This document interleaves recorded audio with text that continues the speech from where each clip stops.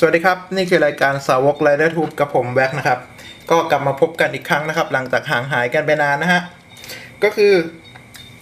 เทปนี้เนี่ยไม่มีอะไรหรอกคือเห็นว่าวิสาเนี่ยมันใกล้จะจบแล้ว แล้วของเล่นมันก็ออกมาเยอะแล้ว ผมก็เลยจะมาเรียกอะไรอวดแล้วกันโชว์ให้ดูว่าเออในปีเนี้ยที่ผ่านมาเนี่ย ผมได้อะไรมาสะสมไว้ในตู้บ้างนะครับ แล้วก็ก่อนที่จะเป็นกายหมุในปีหน้านะครับ ก็คือปีนี้ผมก็คงไม่ซื้อแล้วแหละซื้อแค่เนี้ยพอเพราะว่าแบบ นะมันออกมาเยอะเกินจนไม่รู้จะตามอะไรก็เลยตามแต่หลักๆมานะครับ ก็เรามาดูกันดีกว่าว่าปีนี้ได้อะไรมาสะสมกันบ้างนะครับผมนะเรามาเริ่มกันที่ชิ้นแรกกันก่อนเลยนะครับ ผมเชื่อว่าหลายๆ คนก็คงสะสมเหมือนกันนะ ก็คือเนี่ยชิ้นแรกสุดของการสะสมไรเดอร์ทุกซีรีส์เนี่ยก็คงเป็นเข็มขัดของตัวพระเอก ในที่นี้ก็คือเนี่ย Wizard Driver นะครับ Wizard Driver ก็เป็นเข็มขัดที่เป็นรูปมือแบบนี้นะ นี่สามารถเปลี่ยนได้สองข้างแบบนี้นะครับ สวยงามทีเดียวนะ Wizard Driver เนี่ยมันก็จะมาพร้อมแหวน3วงนะครับอะเดี๋ยวมาโชว์แหวนกันก่อน วงแรกก็คือแน่นอนครับแหวนร่างหลักของพระเอกนะฮะแหวน Flame Style นะ นี่ของ Wizard ก็เปิดหน้ากากได้นะ แล้วก็เป็นแหวน Water Style นะครับนะแหวน Water Style แล้วก็แหวน Kick Style นะครับ เอาไว้ทำ Rider Kick เนี่ยเอง อะ มันก็แถมมา 3 วงแค่นี้ ลูกเล่นของวิสาไดเวอร์ก็จะแปรผันตามแหวนที่มีนะครับ ก็คือตัวไดเวอร์เนี่ยเป็นตัวอ่านค่านะไอ้ลูกเล่นของมันเนี่ยอยู่ที่แหวน พอเราเอาแหวนไปสแกนมันก็จะมีเสียงอะไรประมาณนี้ รูปลักษณ์ของมันโดยรวมก็ออกแบบมาได้สวยดีนะครับ นี่ด้านหน้าด้านหลังโอ้จริง ๆ ด้านหลังเขาเป็นสีดำนะครับ แต่ผมอะไรอะมือซนก็เลยไปโมมันซะนะ เป็นลาย มังกรที่อยู่ข้างหลังทีเดียวอะก็ไม่มีอะไร แล้วก็ด้านหน้านี่ครับ เป็นแบบนี้สีทองของมันเนี่ย จริง ๆ มันต้องเป็นสีทองชุบนะครับ ซึ่งจะดูเงาวิ่งวิ่งเหมือนในตัวหนังแล้วครับ แต่ว่าผมเล่นมากไปมันเลยลอกนะครับ จริง ๆ ปัญหาของ DX ที่ทุกคนเจอนะครับ ก็คือสีทองเนี่ยมันจะลอกพอเล่นไปเรื่อยๆแล้วมันจะลอกนะ ก็เลยต้องเนี่ยเดือดร้อนมานั่งพ่นนั่งโมกันโอเค เพื่อให้มันกลับมาสวยเหมือนเดิมอาจอาจจะไม่เท่าเดิม แต่ว่าก็ สวยงามดีกว่ามันลอนะครับ ก็เอาเข้าตู้ได้อย่างสบายๆนะครับอะเราก็มาดูลูกเล่นของมันกันสักนิดหน่อยนะครับอะเริ่มกันที่แปลงร่างเลยนะแปลงร่างอะเปิดก่อนเปิด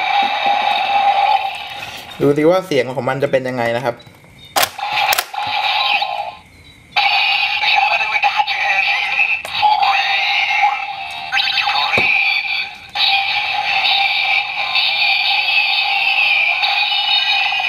ก็เสียงก็เป็นประมาณนี้นะ พอหอมปากหอมคอกับ Wizard นี่นะเราก็มาให้คะแนนตัวแรกนี้ก่อนเลย ตัวแรกนี้ก็เต็ม 5 เอาไป 4 แล้วกัน ให้ 4 คะแนน เพราะว่า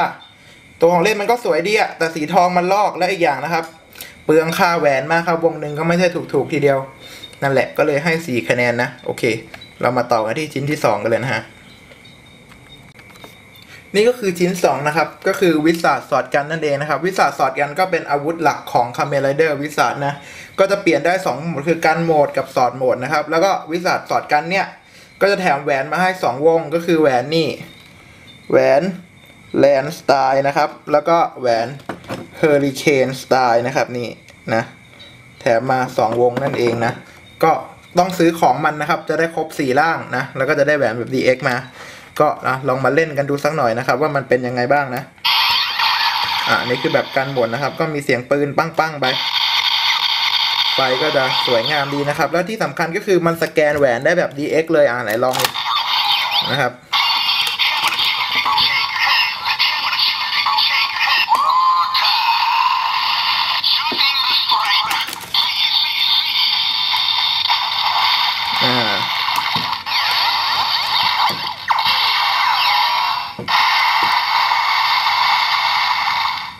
เช่นกันนะครับ ก็ลูกเล่นของมันเนี่ยก็จะแปรผันตามแหวนเช่นกันนะครับ แล้วก็นี่อะ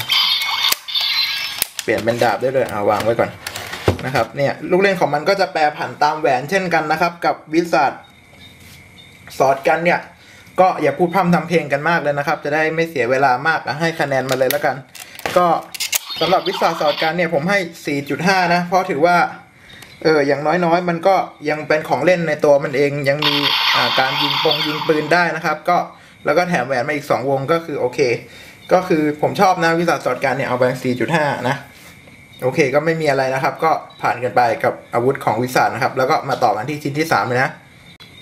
นี่ก็คือชิ้นที่ 3 นะครับ d a g o t i m e r นั่นเอง ผมเคยรีวิวเจ้านี่อย่างละเอียดไปแล้วนะครับ ในตอน d a g o แก๊กๆนะ ก็ไม่มีอะไรนะครับ ลูกเล่นของมันก็เอาไว้เนี่ย เรียกอะไรนะออดากอนแล้วก็เนี่ย เรียกดากอนต่างๆนะ ก็ประมาณนี้นะครับ d a g o t i m e r เนี่ยก็นะ เสียงของมันก็ดังอย่างที่รู้กันอยู่แล้วนะครับ ก็ชิ้นนี้ก็ไม่มีอะไรครับ มันเป็นชิ้นเล็กๆนะ เป็นแกดเจิตเล็ก ๆ ก็ให้คะแนนเลยดีกว่าดาโก้ทัมเมอร์เนี่ยผมเคยให้ไว้เท่าไหร่จำไม่ได้นะครับ แต่ตอนนี้มาเล่นอีกทีก็เอาไปสามแล้วกัน เสียงมันดังครับ เสียงมันดังเหลือเกิน มันเนี่ยเสียงมันแบบอะไรก็ไม่รู้แก๊กๆนะ แต่ก็โดยรวมก็ถือว่าโอเคเป็นของเล่นที่เอาเก็บไว้ให้ครบๆอะไรอย่างนี้ ก็ไปสามคะแนนนะฮะ กับดาโก้ทัมเมอร์เนี่ย ก็ไม่ได้มีแถมวงแถมแบนอะไรมาหรอกแต่ว่าก็สแกนกับเข็มขัดได้เหมือนกันนะครับ มันจะมีชิปอยู่ตรงเนี้ย โอเคงั้นแหละ แล้วก็ไปต่อกันเลยเนาะโอเคครับ ชิ้นต่อไปนะครับก็คือ Excalibur นะ อาวุธล่างสุดยอดของ c a m e l a Wizard Infinity Style นะครับ ก็ต้องขออภัยด้วยนะ มันเต็มจอไม่ได้นะครับ วันนี้ฉากไม่ได้จัดไว้นะ ก็เอาดูนี่นะ ประมาณนี้นะก็เป็นขวาน กับดาบได้นะตามชื่อมัน Excalibur นะครับก็นะถือว่าเป็นของเล่นที่เจ๋งอีกชิ้นหนึ่งนะครับ ก็มี 2 โหมดแล้วก็มีระบบนี่การสแกนแบบแม่เหล็กด้วยนะครับอะผมก็เคยรีวิวเจ้านี้ไปแล้วนะครับ ในตอนที่แล้วนะ ก็ไปติดตามชมกันได้นะครับ ก็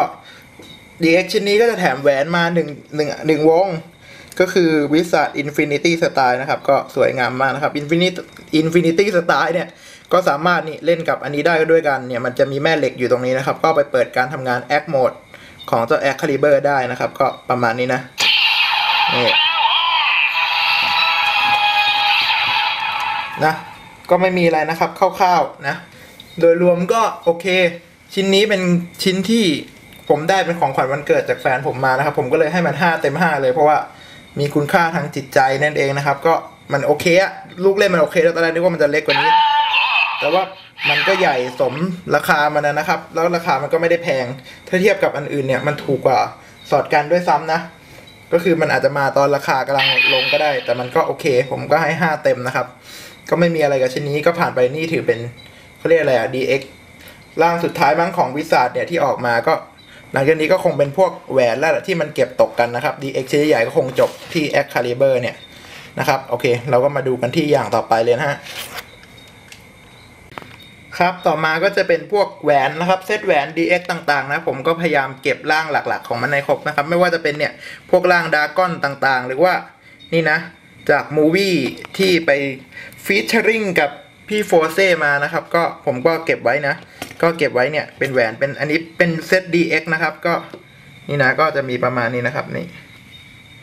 นี่อะก็มีไม่เยอะหรอกครับ มันแพงนะครับแหวนเนี่ยมันแพงมากผมก็เก็บได้ไม่เยอะหรอก มีประมาณนี้นะ ก็เอาร่างเอาร่างหลักๆ ของมันให้ครบไว้ก่อนนะครับ คือคอนเซปต์ของผมเองนะ ก็ไม่มีอะไรนะครับ อันนี้ก็คือแหวนที่ DX ที่ซื้อมาเป็นชุดๆนะ ชุดละ 2 วงบ้าง 3 วงบ้างนะครับ ก็ประมาณนี้นะครับผม แล้วก็แหวนต่อไปก็จะเป็นพวกแหวนที่กดมาจากตู้กระชับปอง หรือว่าเป็นแคนดี้ทอยนะครับ ก็จะเป็นแหวนที่คุณภาพต่ำลงมาจาก DX บางวงก็เช่นวงนี้นะครับเนี่ยอย่างไอเอ็กเซนวงเนี้ยก็จะไม่มีไฟนะครับราคาถูกก็ร้อยกว่าบาท ร้อยร้อยเท่าไหร่ร้อยยี่สิบเก้าหรือสามเก้าอะไรนะครับ ก็จะไม่มีไฟนะครับ แต่ว่าเสียงเนี่ยออกมาก็จะเหมือนกัน หรือว่าเนี่ยอันนี้ก็ไม่มีไฟเหมือนกันนะครับ แล้วก็บางรุ่นอันนี้อาจจะมีไฟอันนี้เป็นแคนดี้ทอยนะครับ ก็จะมีไฟก็ราคาสองสามร้อยอะไรอย่างนี้ก็ราคาก็จะแตกต่างกันออกไปนะครับ นี่บางคนอาจจะสงสัยเอ๊ะทำไมนี่มีเควิลัสสีทองด้วยอันนี้ผมพ่นเล่นนะครับ สีมันเหลือนะแนวเลย ก็เห็นช่วงนี้แหวนสีทองก็ฮิตกัน ผมก็นะ ลองพ่นเล่นๆสักวงหนึ่งนะครับ อันนี้เป็นรุ่นแบบไม่มีไฟนะ Kerberos ไม่นะก็ไม่มีอะไร ก็แหวนที่กดกดมาได้ก็ประมาณนี้นะครับ ก็กดได้กันตามตู้ตามร้านห้างสรรพสินค้าที่มีร้านของเล่นทั่ว ๆ ไปนะครับ อาจจะเป็นดูที่เซนทันเวิลด์หรือว่าอะไรอย่างเงี้ยก็อาจจะมีนะครับ ก็ลองไปตามตามดูนะครับ Seacon Square เนี่ยมีแน่นอนลองไปดูกันนะฮะ ก็ประมาณนี้ก็หมดไปกับเซตแหวนของผมนะครับ ก็ประมาณนี้ครับผมอ๋อเกือบลืมไปนะฮะ นอกจาก DX กับแหวนแล้วนะ ที่ผมเก็บอีกอย่างก็คือนี่มีฟิกูอาร์ตนะครับ ผมก็ตั้งใจเก็บว่าเออจะเก็บซีรีส์ละตัวพอนะครับ เพราะว่าผมชอบเก็บ DX มากกว่านะ ก็ซื้อวิสาดมาเก็บไว้ดูเล่นสักตัวหนึ่งเออก็สวยดีนะครับ ก็คุ้มอะถ้าตัวนี้ให้คะแนนก็เอาไปสี่เต็มห้าแล้วกัน เพราะว่าเห็นเขาว่ากันคอสั้นขาสั้นอะไรเงี้ยผมว่าเออโอเค แต่ว่าก็โอเคนะ เอาไปสี่เต็มห้านะครับ ก็ ประมาณนี้นะสำหรับของสะสมวิสาดในซีรีส์นี้นะซีรีส์วิสาดผมก็มีของสะสมประมาณนี้นะครับ ก็ไม่มีอะไรหรอกก็แค่อยากจะบอกว่าเออ ใครที่สะสมนะครับ ก็สะสมตามใจเราชอบนะ อย่าไปสะสมตามคนอื่นเขาอย่าไปแบบต้องแบบลำบากตัวเองเพื่อไปสะสมให้ได้เหมือนคนอื่นเขาเนี่ยอย่างผมเนี่ยผมก็ไม่ได้เก็บเยอะมากนะครับ ก็จะเก็บเฉพาะตัวหลักๆ ที่ออกมานะครับ ไม่ได้เก็บทุกอย่างที่ออกมา เพราะว่าคงจะไม่มีข้าวกินก่อน เพราะว่าแต่ละอย่างก็แพงเหลือเกิน ผมก็คงจะเก็บแต่ละหลักปีหน้านะครับ ก็ดูดูแววว่าคงต้องเสียเงินอีกเยอะนะฮะเพราะว่าไกหมูเนี่ยมีไรเดอร์กี่ตัวแล้วครับ แต่ยังดีที่มันใช้เข็มขัดเดียวกันนะครับ แต่ผมเชื่อว่าการตลาดของบันไดมันฉลาดครับ มันเข็มขัดเดียวกันแต่มันต้องมีอะไรนู่นไอ้นี่ออกมาขายเผลอๆร่างสองจะมีอะไรออกมาหรือเปล่าก็ต้องติดตามกันนะครับ ก็เทปต่อไปอาจจะไปเจอกันนู่นเลยก็ได้นะ ตอนรีวิวเข็มขัดกายหมูเลยก็ได้นะอีกสักเดือน 2 เดือนอะไรอย่างนี้เพราะว่าช่วงนี้วิทยาธิพลมันเล่นงานผมหนักหน่วงมากนะครับ การแก้อะไรมันก็ยากอยู่ มีอะไรบนแบบนั้นนะ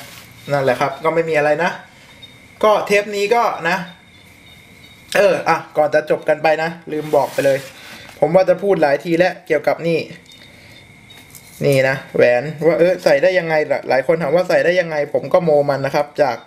ฝาขวดน้ำนะ นี่เอาฝาขวดน้ำมาตัดนะครับ ตัดครึ่ง อะทำให้ดูเลยแล้วกัน เอาฝาขวดน้ำนะครับ มาตัดรูตรงกลาง หั่นครึ่งนะครับ มันก็จะออกมาเป็นแบบนี้ แล้วก็ยัดเข้าไปข้างหลังเลย ยัดเข้าไปข้างหลังของแหวนเลย นี่นะ มันก็จะได้ออกมาเป็นแบบนี้พ่นสีสักหน่อยก็ใส่ได้นะครับอ้วนๆเนี่ยผมก็ใส่สบายนะเห็นไหม ไม่มีอะไรนะ ก็ประมาณนี้นะครับ ที่จะพูด ว่าจะพูดหลายรอบแล้วว่าจะทำเทปเลย แต่ว่าไม่มีเวลาเลยขอโทษนะครับ ก็ประมาณนี้นะครับสำหรับเทปนี้ก็ไม่มีอะไรแล้วครับทำทำมากันคนลืมกันฮะก็ลากันไปก่อนแล้วกันนะ เอาไว้เจอกันใหม่เทปหน้าเลยนะครับ ก็อาจจะเป็นรีวิวไกบุไดเวอร์เลยอีกสักพักหนึ่งเพราะว่าช่วงนี้เรียนหนักเหลือเกิน ก็ขอลาไปก่อนนะฮะ ขอบคุณที่ติดตามรับชมกันมาตลอดนะครับ ขอบคุณที่อยู่กับสาวกไอ้มดแดงมาตลอดนะครับ เกือบจะสองหมื่นไลค์แล้วเร่งกันให้ถึงสองหมื่นไลค์เนาะโอเค ขอบคุณมากๆนะครับ วันนี้ก็ลาไปก่อนนะครับ สวัสดีครับผม